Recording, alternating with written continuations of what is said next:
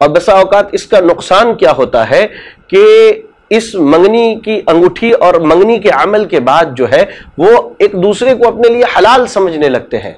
जबकि वो हलाल अक्द के बगैर हो ही नहीं सकते दूसरे के लिए। वो कुछ भी कर ले मंगनी या अंगूठी पहना ले या घड़ी पहना ले या कपड़े दे दे वो उस वक्त तक उसकी बीवी नहीं हो सकती जब तक कि उससे निकाह अक्द ना कर ले। अक्द निकाह उसका ना हो जाए तब तक वो उसकी बीवी नहीं हो सकती है।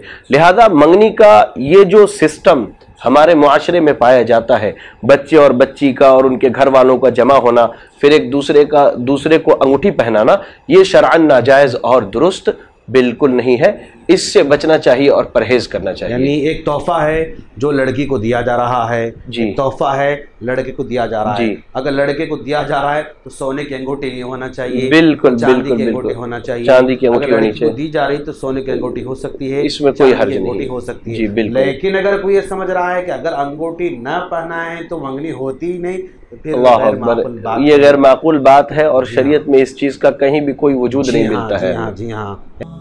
और मज़ीद वीडियोस को देखने के लिए आप हमारे यूट्यूब चैनल को सब्सक्राइब करें। फ़जज़ाकुमुल्लाहु खैरन।